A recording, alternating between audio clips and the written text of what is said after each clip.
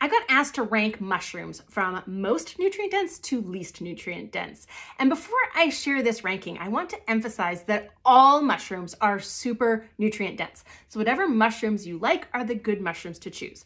Mushrooms are packed with vitamins and minerals and special types of fiber we can't get anywhere else that are really important for our gut bacteria. Mushrooms are high in antioxidant, anti-inflammatory phytonutrients, and they are our best food source of a special non-proteinogenic amino acid that has also been nicknamed the longevity vitamin. Now, there's only nine mushroom varieties that I have enough data to calculate a Nutrivore score, which is a measure of nutrients per calorie, which is how we measure nutrient density. But at the top of this list is enoki and shiitake, with, which both have Nutrivore scores over 4,000, which is crazy. I will remind you that anything over 800 is considered super nutrient dense. Maitake has a Nutrivore score in the mid 3000s.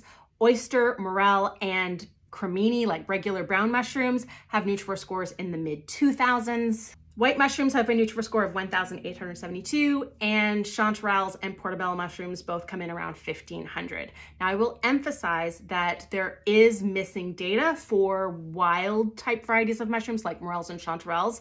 So likely this Nutrivore score is actually an undervalue of what their real nutrient density is.